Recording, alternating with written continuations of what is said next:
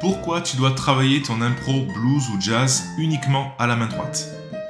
Si tu travailles l'impro au piano, ce que je te recommande, c'est de faire le focus uniquement à la main droite et uniquement à la main gauche, avant de jouer mains ensemble.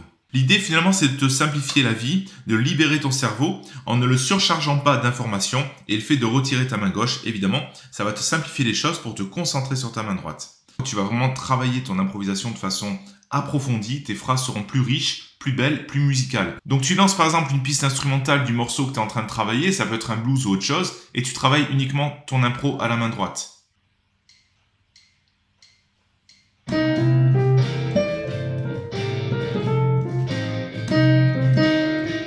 Et tu prends le temps.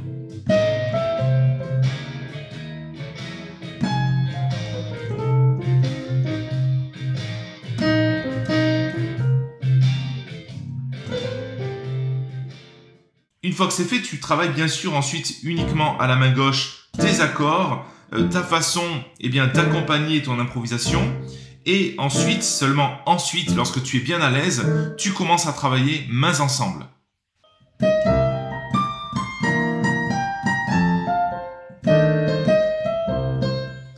Si tu veux aller plus loin concernant l'improvisation, je te mets le lien de mon site formation-clavier.com.